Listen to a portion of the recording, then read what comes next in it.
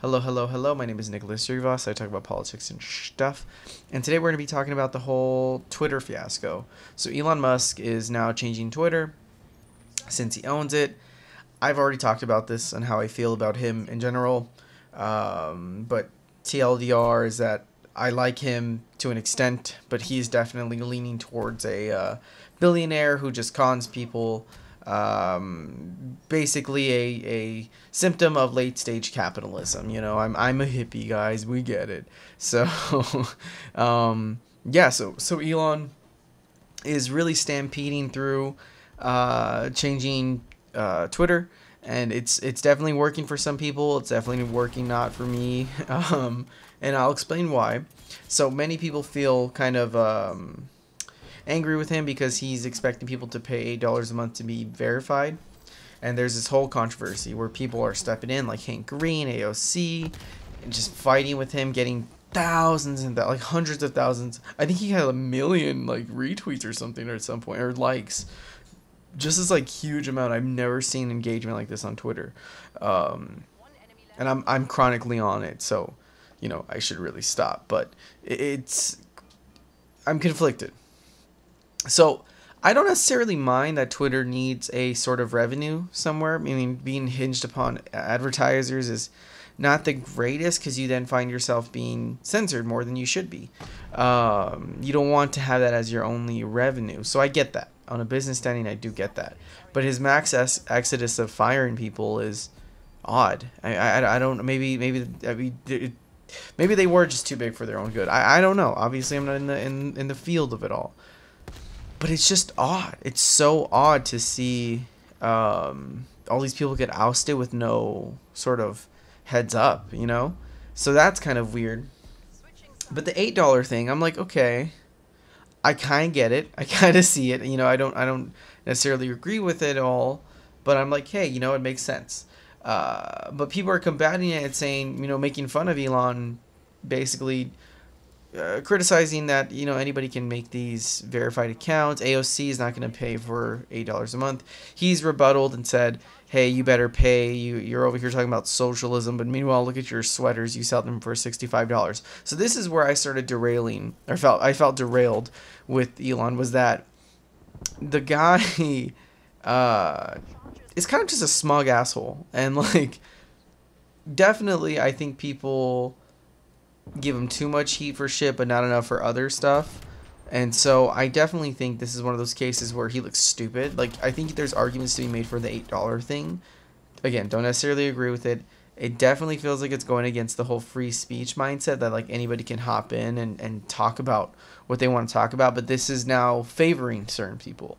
And it's like, look, I know that's just real life, but I thought a man who seemed to be preaching for the people for free speech really just wanted free speech for him um, by having him and his elite buddies be able to get the attention and traction they need on Twitter. Meanwhile, the regular folk are kind of left behind. I mean, there's a reason why he's in his 1% group because he's a one percenter. So I don't believe this is a free speech for him as much as people think it is. You know, I don't believe also that he is hitting the points he wants to hit when attacking AOC or Hank Green, uh, they were criticizing that the eight dollars seems a bit too steep. Not for themselves. Even Stephen King came out and said like this is just too pricey just to get a blue check mark next to my name when I should just be. What I thought the system was, you get it because it's like, oh, you're a verified. That's there's a million Stephen Kings out there, but you're the Stephen King we're all thinking of. But no, Elon attacked him because he's rich and uh, you can afford it. Like that's not an argument that they're making unless they're not vocalizing it correctly. I I I understood what they were saying, but I think he's trying to avert or he's just stupid.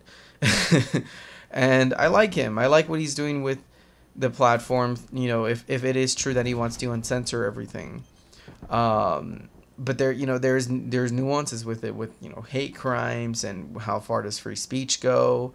I mean definitely if we're talking about the constitution you should say anything you want but you can't threaten people. So there should be some sort of i, I guess like uh, guidelines right? Um, but i don't want people i feel like my defense of, of why i'm so maybe open with him is because I want Elon to to create that world where people don't get censored. Even if it does bring in hate speech I feel that it, like if I a communist if I a socialist were to say things people would be the first I would be the first of many to be censored because of my radical views. So I, I always I always felt the protected class of free speech is worth it when it comes to the whole hate speech stuff that comes. But again, there should be guidelines. Like, I know there's no actual legal precedent, but if I were to say fire in a movie theater, I, I'm not surprised if I get some repercussions because of it. Maybe the government can't really hurt me, but because of the actions of saying that, I set it in a burning building and people stampeded somebody, yeah, maybe there's grounds of, of some law that needs to be occurring either through a civil suit or an actual legislation because I was being reckless and endangering people, um, knowing that there was no fire, right? But it, it's nuanced because how do you predict this or how do you explain this or how do you fathom all of this? Like what's free speech and what's comedy? What's parody versus hate speech? Like there's there's definitely nuanced conversations to be had. I don't feel this is a full on taking people's free speech away, but it's definitely an oddity that I have to pay to use a service that's been free. And realistically, I thought it would become a public space. I thought this would be the public forum that we all can jump onto. And by having a billionaire in there, he would be like, well, I have no real incentive to make the money here because I'm already making money. This is just an ancillary thing. But no, this guy wants to make money from Twitter, which the way he's doing it sounds like he's not. So it's funny it's funny to see how this whole Elon thing is coming out. Um, I've definitely been in the camp of like laughing my ass off, but very angry too, given like his remarks to AOC. Just thought like that was just really weak, and he's just not really. I don't know. He doesn't seem really principled in his standings. He doesn't really seem to also care. I think he's just trolling just to troll. And like I think little kids like that, maybe teenagers, but that shit just annoys me. Like I'm just bored of it. Like I'm not just trying to egg people on. I want to have a you know an, an engagement. Uh, I want to have an engaging conversation. I want to have a civil discussion. And if you start becoming uncivil, I don't really know if the discussion is even worth it. You know, like are you even gonna give a shit about what I say? So that that's where I feel like he falls under is that I don't really think he gives a shit. I mean, the guy's so rich. Like, how do you give a shit? So, yeah, I think I think it's interesting to see him go against the the big names of Twitter, either through a celebrity or uh, just someone who has a lot of followers uh, on Twitter. Like, I don't really know what his his battle is or where this is gonna go, but a lot of people don't seem that much pleased with Twitter. I know his fans are, but when you look outside the bubbles, and again, Twitter is its own bubble, it's its own world. I've said this a million times in many other videos that Twitter is not real life. Um, but given the communities I'm seeing now, I don't think he's on anyone's side. But you know, I'm not the billionaire, so we'll see, I guess. Ultimately, I, I don't like the system. I think it has a lot of flaws, but I'm also sympathetic that it's a it's a it's a bill that needs to get paid, and you, you got to find some sort of in, in, invoice and income and yada yada. So we'll see. Uh, I think it's a good spot to end it. So thank you all, and uh, yabba dabba doo, gabagool.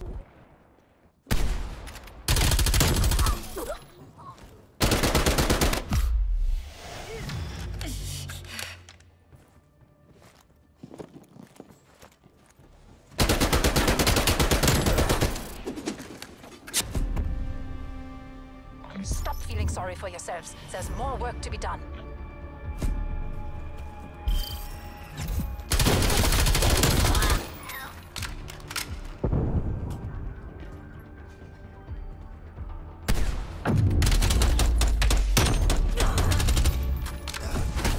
Switching rally points.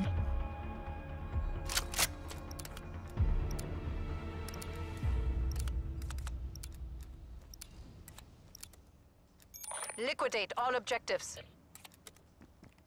Bomb acquired.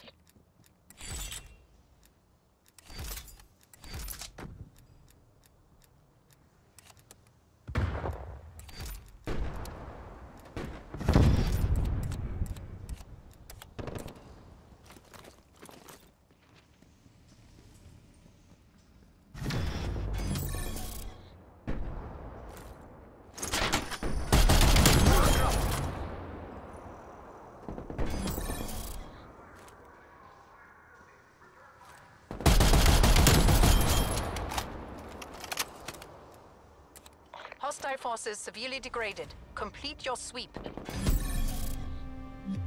Well executed, HVA. Continue on mission.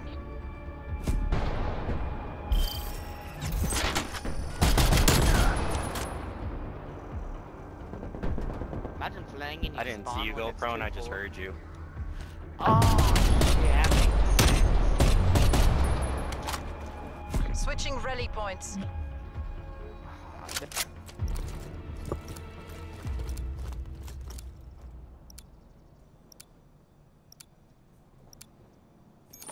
Hold the objective.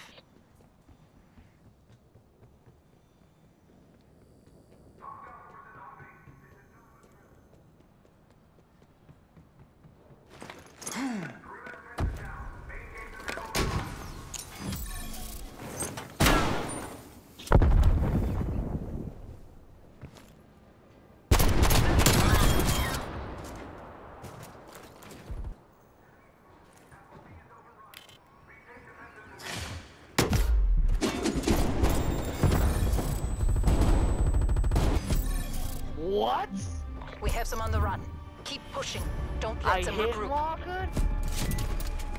With the ZRG?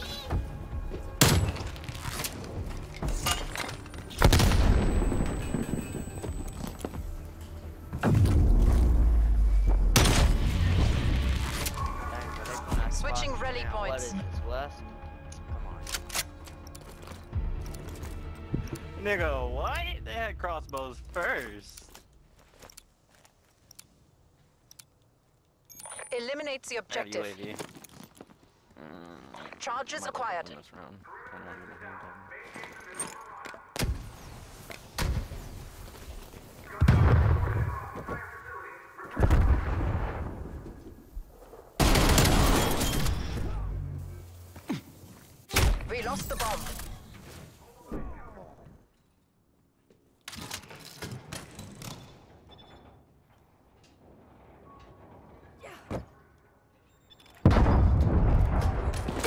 Bomb.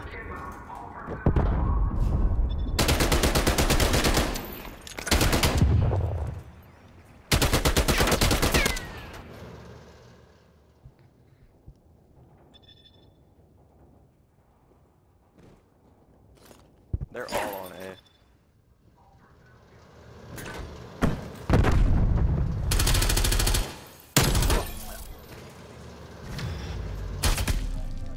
Got him with the crossbow. We playing Hmm, were West you complaining now, about when I pulled out the crossbow and you guys had him on Nah, first? man. Who got a crossbow on our team? Uh, you guys had two crossbows on your team. Oh, I think that might have been the dude who left. Well, I cracked you on the Switching back, sides. man. Now it's looking good.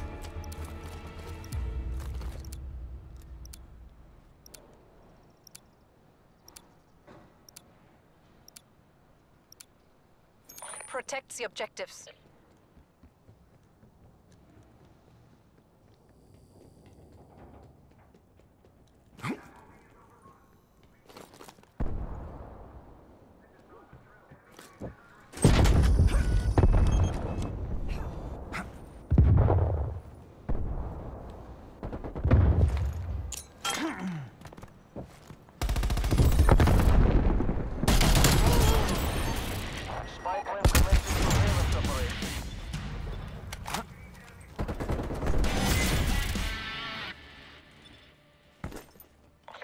enemy left. Put them down.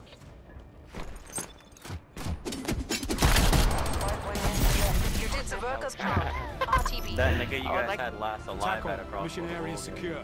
Dispatch cleanup crew. That's one.